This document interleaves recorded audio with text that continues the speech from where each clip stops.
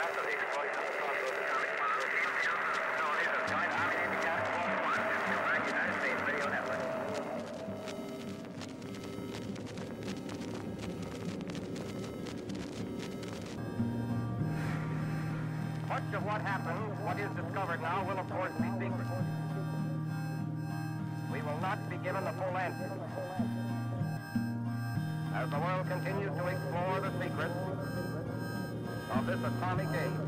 It's time, it's time, it's time to find out with Diego. Let's go. Ooh, yeah.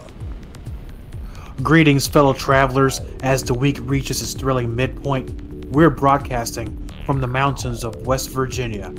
Embrace the spirit of adventure as you join us on this daring journey through the untamed wilderness of Let's Find Out with Diego, bonus Overdrive Wednesday.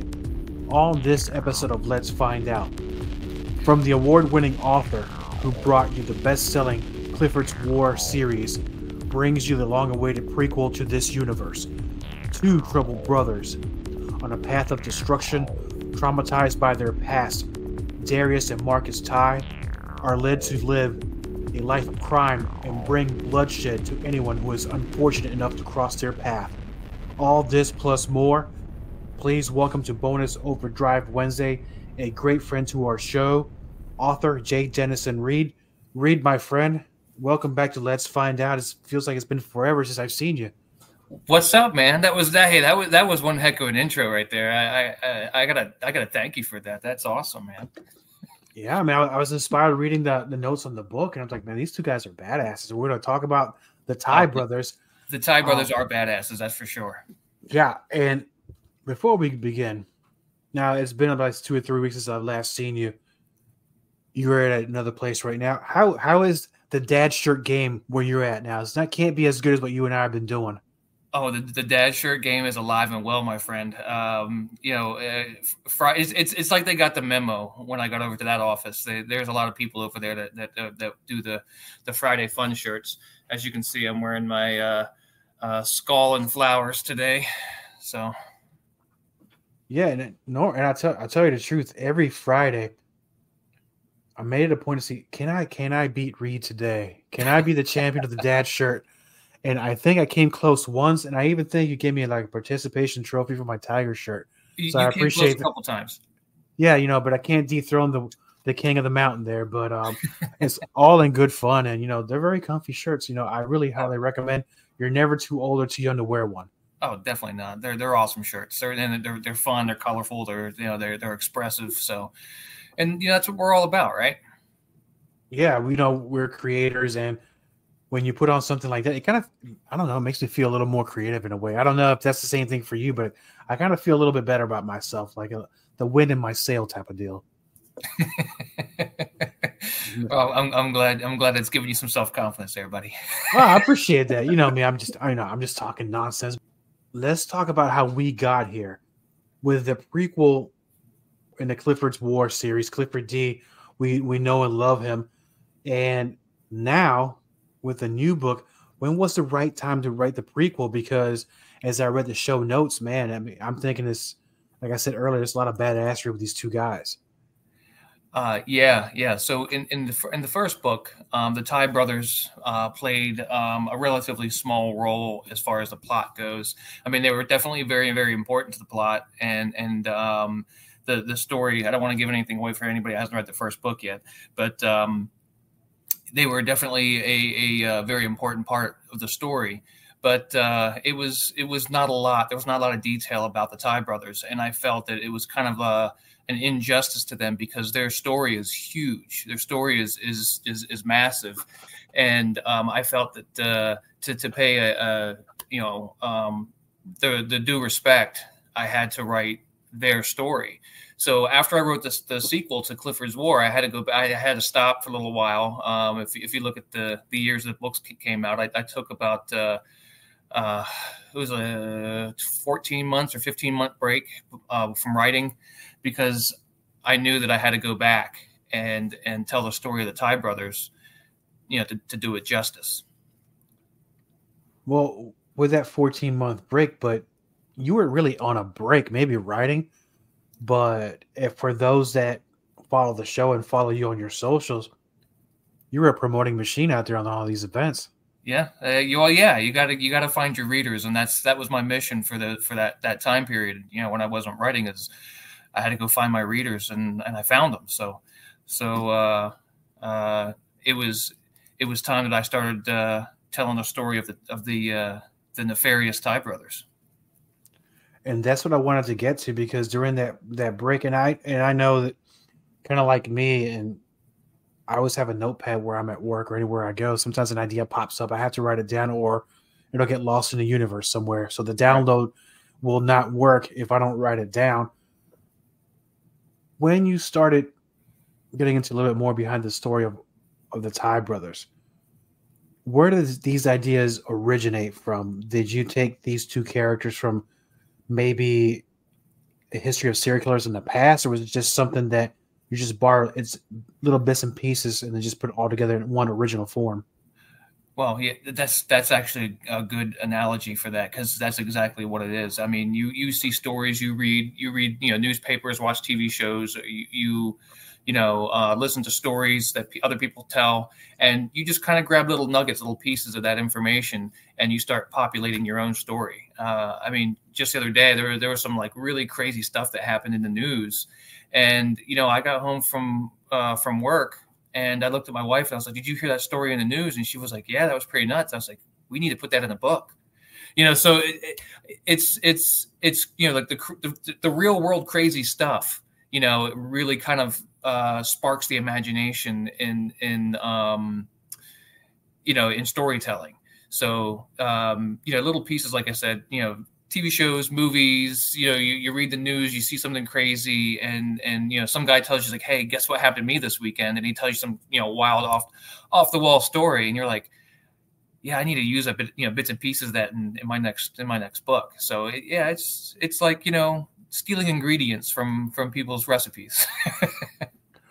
no, and that's pretty much even all creators do that. But I think I think we have the advantage of I being as in tune as we are with gathering stories doing the research, and especially in the area that we live in, there's always material we can use.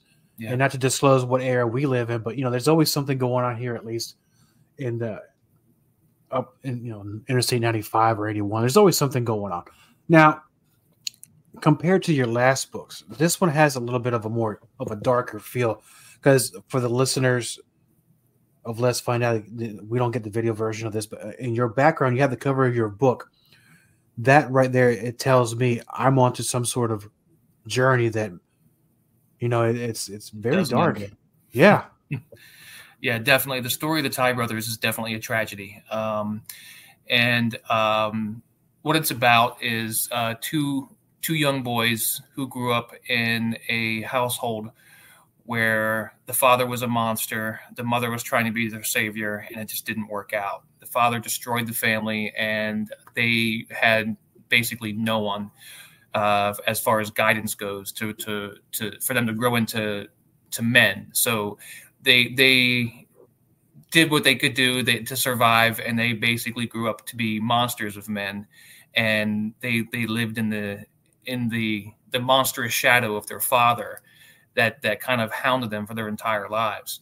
So it's it's it's more of a cautionary tale, I guess you would say, of how how to how not to raise your children. But uh, but yeah, that's that's the crux of of what the story's about. So, what was your comfort level in going that dark with your storytelling? Honestly, it was not great. Um, matter of fact, uh, my my editor for the first two books, um, Elliot J. Emerson, I, I call her EJ um, I actually pinged her and I said, "Hey, would you mind helping me um, with this book because I need to make these characters a lot darker than than you know I'm, I'm comfortable going."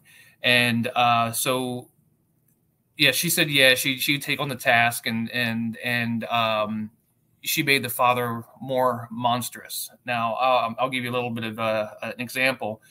The the father when I wrote when I wrote this the, you know the first manuscript the original manuscript the father was an alcoholic And um, when I when I handed it to EJ, she took that element away, and I I wanted, and I asked her, I said, why why would you take that away? You know, and she says, I don't want to give him an excuse to be a monster. He's just a monster. So that that struck with me, and I was like, you're absolutely right because if you make him an alcoholic, it gives him an excuse. And we don't want him to have an excuse to be a monster. We just wanted him to be a uh, you know a bastard. So um, she she handled that really really well. She wrote some of the darker scenes with um, you know there's some domestic violence and some some sexual abuse in the beginning of the book, and um, she made that uh, you know a little bit more vivid. So um, I think she did a really good job with with that overall. And um, I think the product that we're releasing is something that uh, you know people are going to read and they're going to be holding their breath at certain points, and and that's kind of what we wanted.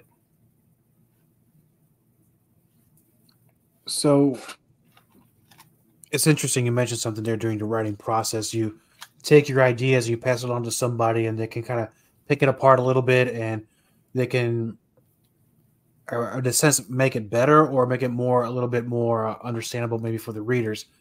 Yep. As a creator, you really have to be open to criticism. How does how do you handle that? Because I know it's kind of like this. You know, this is my baby. It's kind of like tell the wife, "Hey, I wrote this. What do you think about it?" And then the wife's like, gets the uh the sharpie, the the, the yellow one. I get this, this, or I go, or she'll stand on my way and just like, hey, all the red ink. This looks yes. well, um, I'll be honest with you. When I when I wrote the first book, and even even the second book, I was I was um, I was very uh, I guess susceptible to criticism and and critics, and um, it a few a few um, of of the the more uh, brutal comments would kind of get to me a little bit, but uh, as as I kind of matured as a writer, um, you know, when I was writing my, my third book, it really well let me go back. It was it was actually during the second book when when i kind of i felt like i grew on this. But um, i was getting kind of torn apart from the second book. There was um, a particular um, uh, editorial review that was not great and the person that reviewed it didn't like it. And uh, so they they they bashed it. And um, you know, other places loved it, and other other readers absolutely loved it. It won an award. It was on Times the billboard in Times Square because it won an award. So it's not like it was a bad book. It's just that that one person didn't like it, and that's what hit me. It wasn't that it was terrible. It wasn't that it, that my work was bad. It's just that that person didn't like reading the book. So, I mean, that's what you kind of have to look at and say, you know, I'm, I'm writing this story for myself and I'm writing this for, you know, I'm sharing a piece of me with the world. And not everybody's going to like that piece of me that was shared. You know, you can't you can't please every single person on this earth. You know, just ask my ex-wife. oh heavens! You know, we could do a whole show about exes here. no, but I understand what you're saying but you've done something that people are coming along this journey with you. They're following the stories, they're following the characters. You've added some extra, I would say, new characters to this book. If you can tell us some about, I think you added uh, a, detective. I heard a yeah. rumor about one, and yeah. yeah. well, see, the, the, the detective is, is based upon a, a, good friend of mine, um, and uh, I think you know him. his, his name is his name is Diego. Uh, oh. And uh, he's he's the uh, he's the original detective on the case. One of uh, I don't want to give too much away, but um, um, one of the Tye brothers um, gets in the habit of of um, killing prostitutes. So um, Diego, the detective, uh, is the first guy to start investigating this uh, with the police department, and he's probably one of the smarter cops on the force. Unfortunately, as as time goes on, um, the, the Tye brothers are actually very smart and know how to cover their tracks. Um, they they stay elusive, and Diego ends up retiring. But uh, he does come back towards the end to, to figure out, uh, you know, with with new context clues that uh, the the main protagonist of the of the first book, Clifford D, um, starts finding some clues and he shares it with the police, and they start figuring things out at that point. So Sounds pretty awesome, man. yeah, no, no, I, I'm honored that even you even said that. And as you were talking, because I'll be honest with you, Reed, I met you about what two and a half years ago, almost three years ago, yeah, about three years ago, yeah. and there's a different, there's a bit of a difference in you compared to that. Not that it was not as a, not a bad thing, so don't take this the wrong way, but I saw your hustle promoting your books. I saw your struggles with you were talking about the prequel and sometimes you know you hit your writer's block or you're so busy promoting something you really have to buckle down and start working on on your new material. Sure. Does it get easier after each book or is it just as hard as doing the first and the second? Well, I, I think once you find your your groove, once you find your routine, I mean, there's always going to be struggles. There's always going to be little hurdles you have to get over.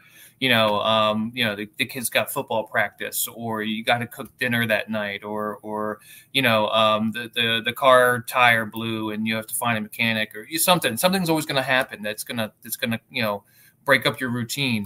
But the the the important part is just to get back into that routine as fast as possible, as quickly as you can. And once you once you kind of get into that groove of writing and and you get used to um, the the uh, you know the creative juices flowing, it gets it gets a lot easier. Uh, with my first book, I, I think it took me uh, almost almost five years to write that book because of poor habits. You know, I'd write a few sentences here, a few sentences there. Maybe I'd write a chapter one month, and then I'd write you know a paragraph the next month. It was it was very you know erratic, but um, you can't really rush the creative process. Sometimes it happens that way, but I, I think if you develop you know good habits and, and give yourself you know allotted time to do things like that then you know you'll get used to doing some stuff. And you'll you'll think about good ideas throughout the day. And you like you said have a notebook. You take notes and and then when you have that you know half hour 15 minutes or full hour however much time you you give yourself to write you can start throwing those ideas on on uh, on paper and then you know massaging the words to to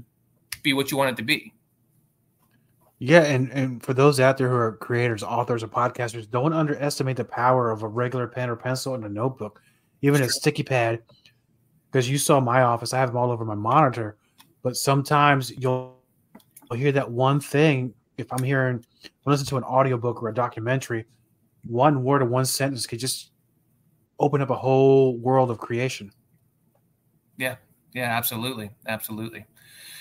Yeah. So I, I try to keep something that, to write on with me at all at all times, you know, and you know you you always have like your phone nearby that you can you can uh, take a quick note. You can text yourself some information. You you don't you wouldn't believe how many times I've emailed myself, you know, a paragraph that I wanted to put into a book. You know, it's it's it's just the way it is. You got to you got to keep keep notes. Now, and I know it's it's very it's too soon to tell because the book just came out what last month or two months ago. Uh, about three weeks ago. Yeah, Tye came out. Uh, actually, it, it was about two two weeks ago. It came out two weeks ago. All right. So you know, I might have that confused because I think at one point you were doing like a cover reveal, like each time was a little bit different part of the cover was shown. So that's Yeah. why, yeah. So now that it's two weeks fresh, is is a beautiful book. There's a certain level like oh, finally you can relax a little bit, but I know you, and I know you always got some things working in your in your mind. Uh, if there's going to be a fourth book, and I know there will, because you're going to have many books. I'm already two chapters in. I I knew it. I read it. I saw it in your eyes. Are we going to stick with the same in the Clifford's War series universe, or are we going to venture Yeah, off to something a um, little bit I'm, different? I'm, I'm already two chapters into the the third installment of Clifford's War, not a prequel, an actual third sequel, I guess you call, or a, it's going to be a, a trilogy with a prequel. So for, the fourth book of the Clifford's War series. and uh, I'm going to make a quick prediction here that I foresee you being back on this show next year when the book comes out, and uh, we're going to talk about that. Yeah, yeah, yeah. I mean, I've already got titles picked out. I've got characters picked out. Uh, this, the the plot's already uh, thought about. I haven't writ- written it down yet, but I, I know exactly where it's going and how it's going to happen. And I just got to connect dots. So, um, I, I hate saying this is going to be a quick write, but this one might be a quick write. I have a lot of stuff already plotted out up here. Oh, because I was like, is it ever? But you know, if you It's never it, a quick write. It never is. It, it- there's like I said, there's always hurdles. Something happens, and you have to you have to figure out. So uh, I, I may have just jinxed myself. Who knows? no, no, you know me, I'll, I'll keep pestering you. Are you writing? Are you writing? You know, I do that to other people too. You know, so let's let's do. I'm going to ask you a few questions here, and I know that we're gonna we're gonna have a little fun here. Um, talking about the new book, Marcus and Darius. If there would be a, a movie made about your new book, who could you imagine be good actors to play Darius or Marcus? Oh man. Um. So. Um. That's a really good question. Uh, for Marcus, I'm not exactly sure. Somebody, somebody big and brutal. Um. Um. But for for Darius, I'm thinking. Um. Oh, the na- name just escaped me. Um. The, uh, the guy that played Venom. Um. T- Tom. What's his name? Bane, the Bane guy, right? not not uh the guy that played Venom. Yeah, I know who you're talking about. He was in a, in a movie called Warrior, and yeah, yeah, yeah. yeah. It's- Is it it's Tom Tom. Hardy? Tom Hardy, that's it. Yeah, Oh. Tom Hardy. Thank you. I, I knew it was Tom something. I couldn't I couldn't think of his last name.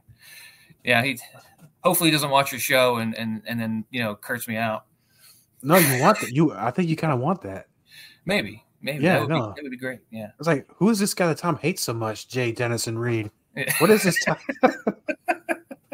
But I, I- you know, we were, we, we- matter of fact, we were watching Venom like a few months ago, and I was, I turned to my wife and I said, you know, he would make a great Darius, and she's like, yeah, he would absolutely make a great Darius. I mean, like, you know, character, you know, the, the appearance, the, the physique, characterization. I mean, he would be perfect for that. But as far as Marcus goes, I'm thinking somebody like you know a little bit bigger because Marcus is a is, is bigger. He's the younger brother, but he's you know a bigger brother. Um, so I, I don't know. Somebody uh, maybe maybe um, I don't know. Um, How about I, I, I got one for you. I'll help you out. I might not be helping. I'm the opposite of help. That Dave Batista guy.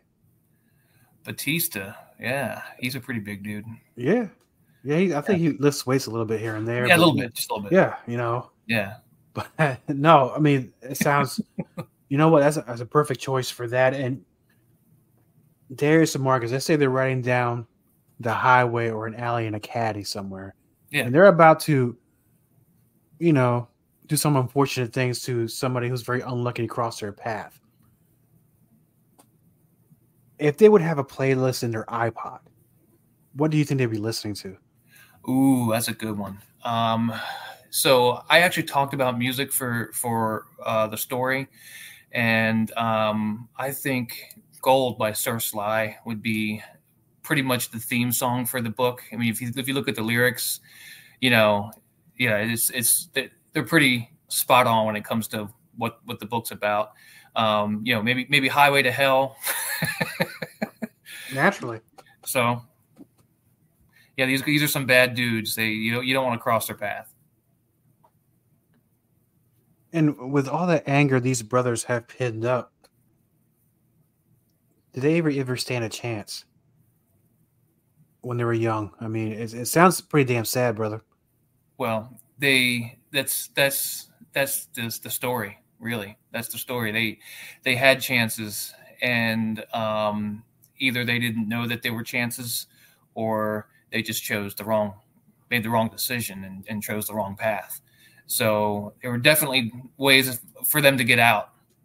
There was definitely definitely uh, um, you know uh, things that that went that came across their path and a choice they could have made to to um, get out of the situations that they put themselves in, but they were constantly making the wrong decision. No, bro, that's some real life stuff right there. I mean, you, you see it all the time. You read about it, you hear about it in the news, and Yeah, yeah, it's unfortunate, but that's definitely something that the readers will need to find out when they download or buy the books off of you directly. I prefer, you know, I have a signed copy. I beat most of you, so I'm pretty good. About, I'm pretty happy about that. With that being said, my friend, for the listeners of Bonus Overdrive Wednesday, they want to learn more about you, your books, and all the events you'll be at, where can they find this out? And where are you going to be? Well, um, if if I if I remember what you said correctly, this this this one's coming out in October. So, at the the end of October, I have back to back events. I'm going to be at the Lions Club of Charleston, West uh, Charleston, West Virginia. Um, for uh, remind me what it's called again. Oh, you'll be at the Ranson Civic Center for Cryptid Halloween. That's right, Cryptic Halloween. I forgot. I forgot to write down the, the, the title of the event. I wrote down where it was going to be, but that's okay. Yeah, but uh, yeah, that's October 26th from 10 a.m. to 5 p.m. Cryptid Halloween. That's going to be a fun one. Um, Tye will be there. My other two books will be there as well. So if you haven't read those other two, you can pick up all three. Um, and the day after that, I'm going to be in Ashburn, Virginia at the Comic Logic Lot Con from noon to 4 p.m. That's in Ashburn, Virginia. Yeah, and I believe those they're getting bigger each year, right? Oh yeah, those lot cons are huge, man. You need to come out to one. I love to. I'm just so, you know, the word is lazy when it comes to traveling, and I need to do that more also because I, I, need to attend more events. But I'll definitely see you there at Cryptid Halloween in Ranson at the Ranson Civic Center in West Virginia. Your website. Yeah, jdenisonreed.com. www.jdenisonreed.com uh, yeah, you can go there. You can check out my events. You can uh, actually, um, you know, take you know find my socials on there. But if if you if you don't want to go to my website, that's fine. Uh, my Facebook is J Denison Reed Books. My Instagram is just J Denison Reed, and I'm on Goodreads at J underscore Denison underscore Reed. So if you know my name, you can find me. Yeah, definitely. I know where to find you, my friend, and I really appreciate taking your time off your busy schedule to be on the show. And um, I was going to ask you one more question, but I think I'm going to save it for the next time you come on because when that new book comes up, man, I know it's going to be on fire. It really will be. This has been another excellent episode of Let's Find Out with Diego, bonus Overdrive Wednesday. Please check us out on all our social media pages. Catch us on YouTube and Rumble. Like, share, and subscribe. Thank you for taking this journey with me. Until next time, my friends. All content on this broadcast is a property of Diego the Podcaster and is served directly from our servers with no modification, redirects, or rehosting. All celebrity impersonators are paid performers. The impersonated celebrities do not endorse or promote any views or opinions expressed by our guests, Diego the Podcaster, or Bonus Overdrive Wednesday.